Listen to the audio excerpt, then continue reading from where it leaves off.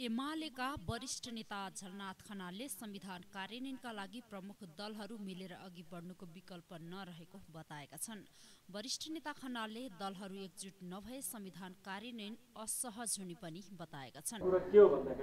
तर चारवटा कुरा के हुन् भने एउटा यो लोकतान्त्रिक छ दोस्रो यो देशभक्तिपूर्ण संविधान छ तेस्रो यो परिवर्तनकारी संविधान छ चौथो यो यो समाजवाद उन्मुख संविधान पनि छ।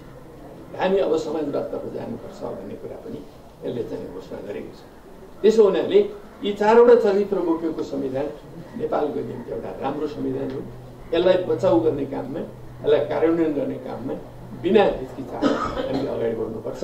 त्यसका लागि यो देशका मेजर पार्टीहरू एकताबद्ध हुनुपर्छ। ज जसले बैसठी त्रिसठीको परिवर्तन गर्न हात मिलाएका थिए। ज जसले संविधान सभा निर्वाचन गर्न हात मिलाएका थिए। जसले यो संविधान घोषणा गर्न हात मिलाएका थिए अब कार्यान्वयन गर्न पनि उनीहरूले नै हात संविधान लोकतान्त्रिक परिवर्तनशील र समाजवाद उन्मुख भएकाले यसलाई कार्यान्वयनमा लैजान दलहरू दृढ हुनुपर्ने नेता खनालको भनाइ छ। रातो पार्टी डट कमको रिपोर्ट।